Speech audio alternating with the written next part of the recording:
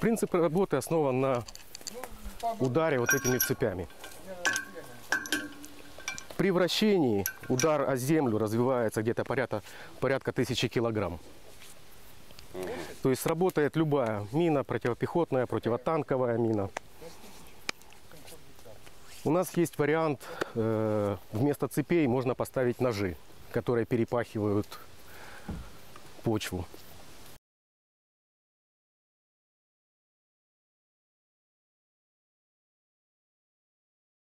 Пробування були на е, е, протипіхотній міні до- досить потужні кругового ураження ОЗМ-72, так звана відьма. Ви бачили сліди е, від скалтів на цьому захисному екрані.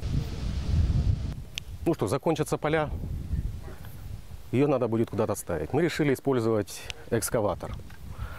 На него можно навесить потом любое навесное оборудование, вернуть ковш, можно бутобои вернуть, ножницы вернуть, тем более, что у нас очень много разрушений, и он продолжит работать.